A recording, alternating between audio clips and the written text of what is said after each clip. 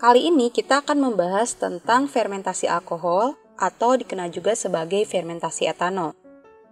Jika kita masih ingat, fermentasi terbagi menjadi dua macam, yaitu fermentasi alkohol dan fermentasi asam laktat.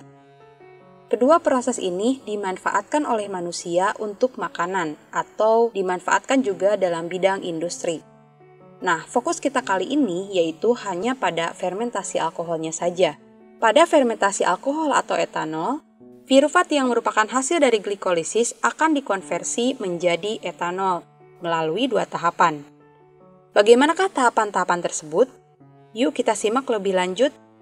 Seperti yang kita telah singgung di video sebelumnya, bahwa fermentasi dimulai dari proses glikolisis.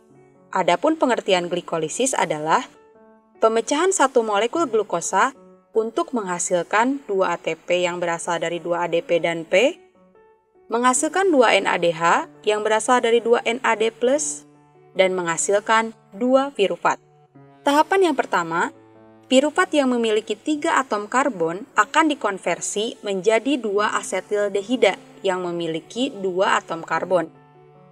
Berarti pada tahapan pengubahan piruvat menjadi asetildehida ini, ada pelepasan satu atom karbon.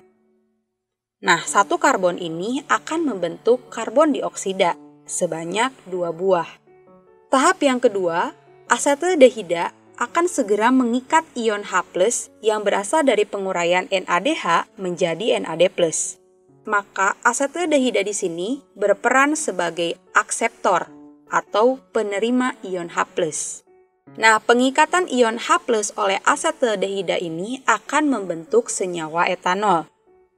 Selanjutnya, NAD+ yang dihasilkan dari penguraian NADH ini akan dibutuhkan untuk menjalankan proses glikolisis selanjutnya.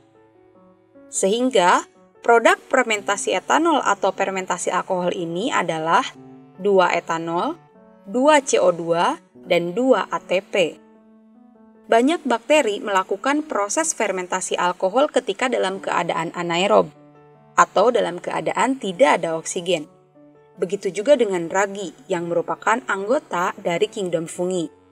Ragi juga menjalankan fermentasi alkohol seperti hanya pada beberapa bakteri.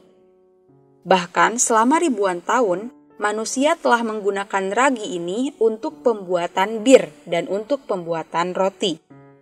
Pada proses pembuatan roti, gelembung CO2 yang dihasilkan dalam fermentasi alkohol pada tahap pengubahan piruvat menjadi asetildehida menyebabkan adonan roti dapat mengembang. Nah, itulah tahapan fermentasi alkohol atau fermentasi etanol. Gimana? Mudah kan? Terima kasih sudah menonton video kolaborasi Eksakta Edukado dan Sekolahmu. Ayo kunjungi website sekolahmu dan download aplikasinya. Khusus bagi kamu yang udah nonton video ini, ada beasiswa program belajar dari sekolahmu. Gunakan kode kamu banget untuk mendapatkan diskon 50%. Jangan lupa juga subscribe channel Sekolahmu Indonesia dan follow akun media sosial lainnya ya.